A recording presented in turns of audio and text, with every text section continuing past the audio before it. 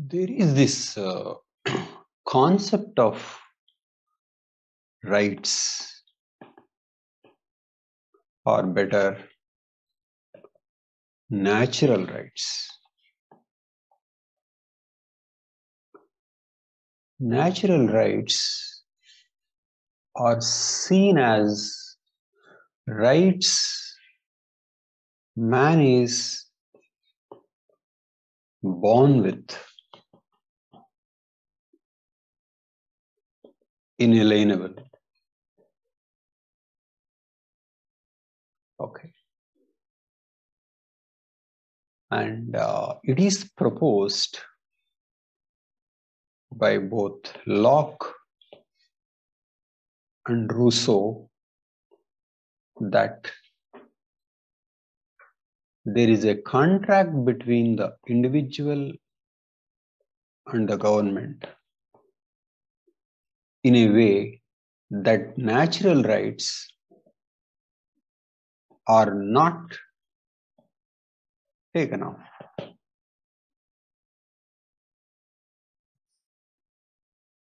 Okay. And they listed some natural rights. Hmm. This concept is found in uh, American Declaration of Independence made in 1776. We hold these truths to be self evident that all men are created equal, that they are endowed by their Creator with certain inalienable rights, that among these are life, liberty, and pursuit of happiness that to secure these rights, governments are instituted among men, deriving their just powers from the consent of the governed. So,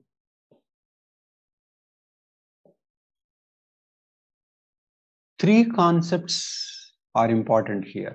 Number one, natural rights. And number two, government and consent.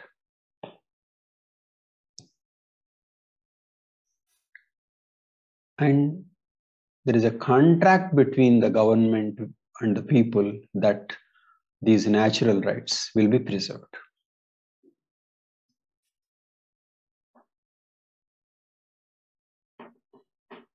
Okay.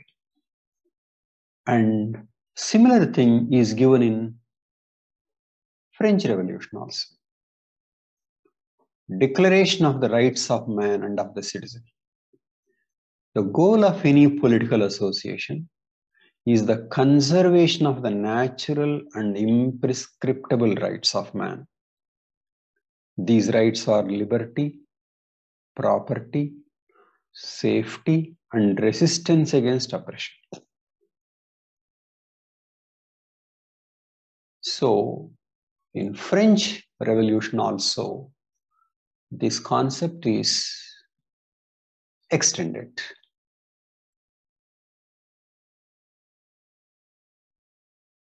But we need to ask how true is this?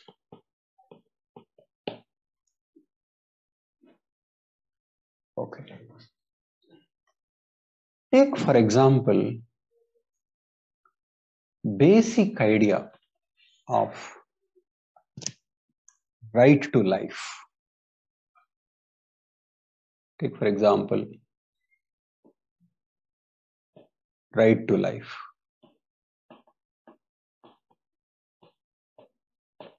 Okay. It is true, we are born uh, to live, but uh, how can we say there is something like a right in fact, we know, going by Darwin's theory, uh, each life form, each life form is a food for somebody else, for somebody else, some other creature. So, in fact, uh, one's right to life uh, clash, clashes with another's right to life. So, what is this thing called right? Did God give it? All this literature is supposed to be um, without reference to religion and God. So, first it was proposed as divine, and later these things were proposed as natural. But how can we say it is natural? Each life is a food for somebody. That is how mankind uh, eliminated many species. Don't they have right to life if you have right to life? And another equality. There has never been equality across life forms in any species. There is inequality among elephants, giraffes, birds, monkeys. So, what is this right to equality? Who's okay? And then right to property. How? You may acquire certain thing and you may have to defend. And if you can't defend, it goes to others. What is meant by natural right? Of course, when you don't have a natural right over your body, you don't have a natural right over your property. It is all about survival of the fittest, and there is a competition for struggle. But does that mean that we shouldn't value these rights? We shouldn't value these things? It is not so. It is that we can say these are certain values and political system attempts to give them attempts or guarantees not to take them attempts to give them or guarantees not to take them. So one can say that we have formed a political association with the assurance that we are assured we are we will we will not be disturbed on this. Not that these are natural and inalienable. In fact what is meant by inalienable inalienable means these rights cannot be taken away, cannot be alienated from man. But you find that you need to have a government to keep these rights. So, in what sense they are inseparable from man? In fact, elaborate socialist systems are created to give equality. And so much is needed to give liberty, safety. Okay, so these are not nature given rights nor God given rights, these are simply ideals of a political association. Okay.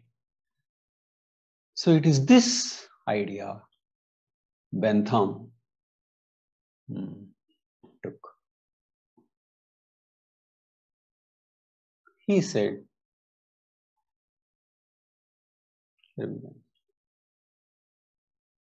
uh, the notion of actually existing unconnected state of nature is too wild to be seriously admitted. So he rejected the idea of state of nature. So Hobbes, Locke, and Rousseau proposed state of nature and then modifications to state of nature. But Bentham says it's too wild, not necessary. And he rejected social contract as chimera or fiction. Social contract gone, state of nature gone.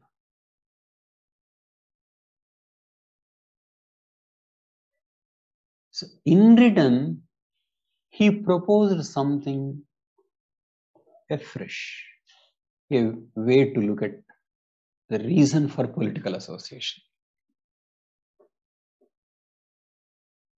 Okay, that theory is called utilitarianism.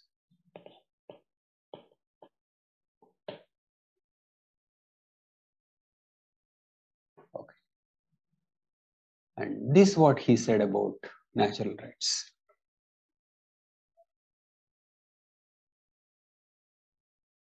When a man disapproves of a mode of conduct considered independently of any actual system of jurisprudence, he says there is a law of nature against it. And if he can't tell why he disapproves of it, he begins talking of rule of right fitness of things or moral sense or some other imaginary standard, which, however varied in description, is from first to last nothing but his own private opinion in disguise. Okay, what man doesn't like, he says, law of nature. And then he talks about natural rights.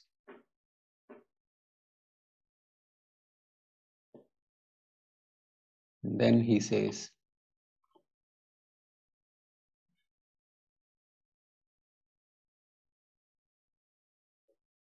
right and legal right are the same thing. Right has to be legal right. Rights are not created by law. Right not created by law is a contradiction like a round square or cold heat. So he says that right means it has to be a legal right. There is nothing like a natural right. And then he said, the rights to life, liberty, and pursuit of happiness presented in the Declaration of Independence, this American Declaration of Independence, a cloud of words. And on the French Declaration of the Rights of Man and Citizen, he said, natural rights is simple nonsense. Natural and imprescriptible rights, rhetorical nonsense, nonsense upon split.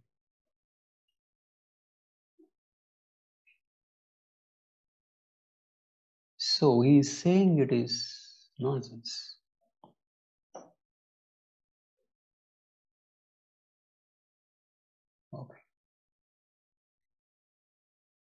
Um, one uh, 20th century thinker, um,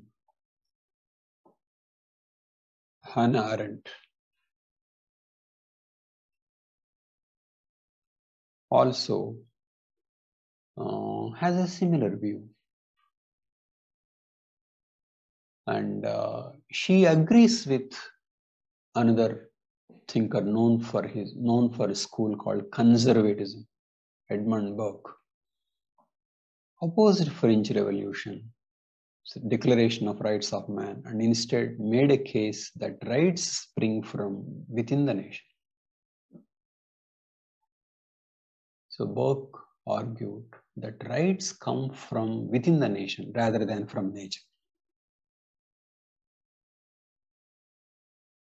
So Arendt says this the rights of man had been defined inalienable because they were supposed to be independent of all governments. But it turned out that the moment human beings lacked their own government, had to fall back upon their minimum rights, no authority was left to protect them, and no institution was willing to guarantee them. No authority was left.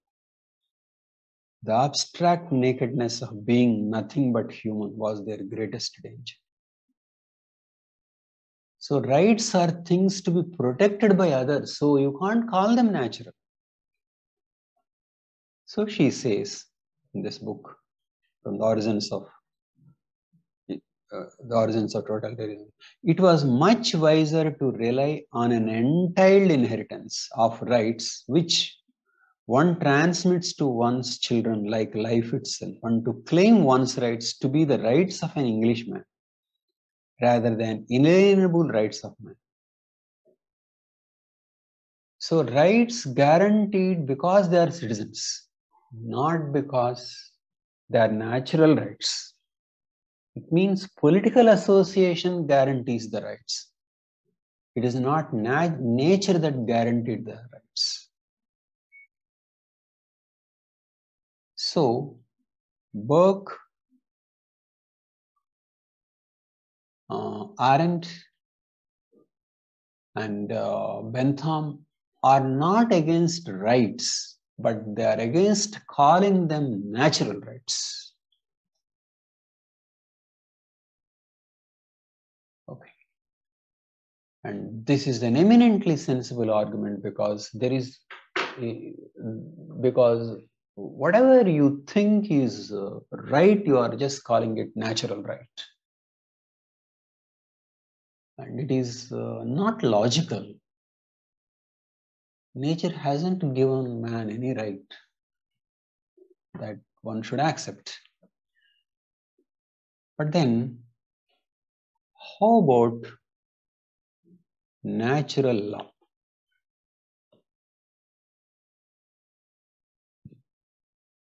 Okay. To Bentham, natural law also doesn't make sense. Bentham says the law of nature is nothing but a phrase.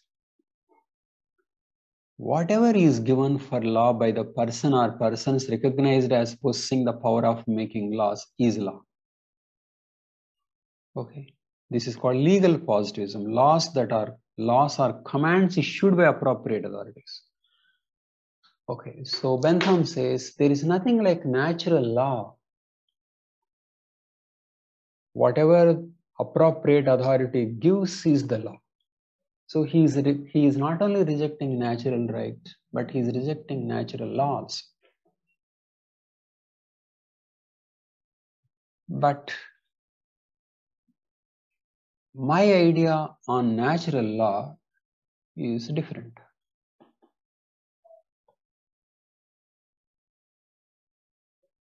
I think the idea of natural law serves a purpose, unlike natural right. Just like there are laws related to physical phenomena,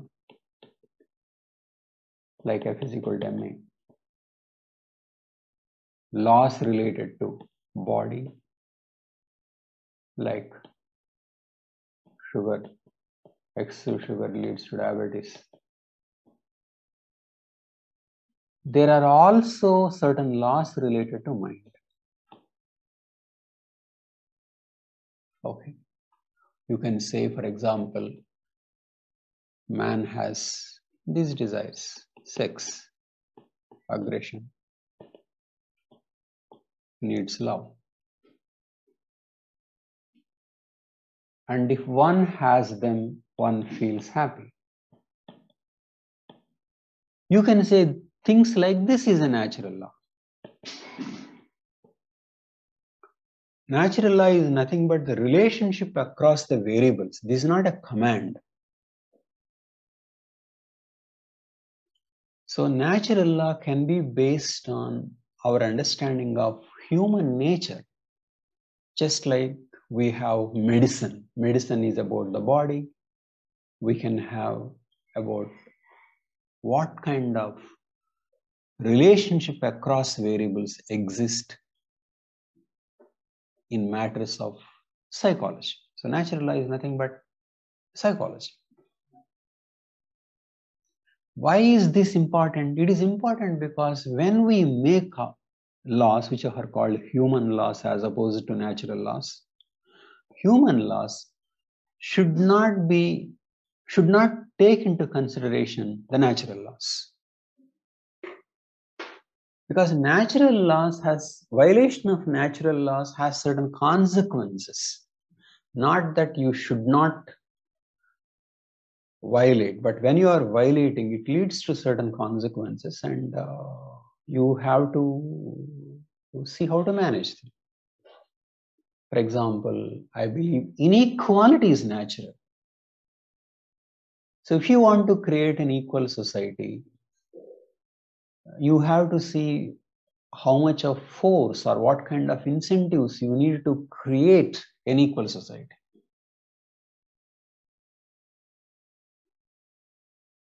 But of course, in even in creating equal society, you will be following natural laws only, but you will be managing them. It is just like, for example, if you are constructing a house, see, uh, living in nature, subjecting yourself to rain and uh, sun is nature. But you construct a house, this is human. But then, when you are constructing the house, you are only following the laws of nature, including a physical domain. So, to need to construct a house, you need to know the laws of nature. So, this is about the physical world. And same thing can be thought in terms of society and laws of nature in terms of nature of man. So nature of man can be the basis to create a right society. Society can make positive laws, but that should take into consideration what are the natural laws. Okay. Man needs love. Man needs safety. Man needs admiration. Man is social. Man prefers privacy too. These are natural laws. So, you can make human laws respecting the natural laws. Deception hurts. Okay. Society uh, is not possible if stealing is allowed.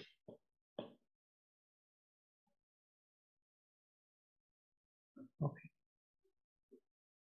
So one can have an idea of natural laws based on our understanding of human nature and human laws has have to take into account natural laws. In the same way we take into account physics when we are constructing a house so the concept of natural law is not bad it is needed.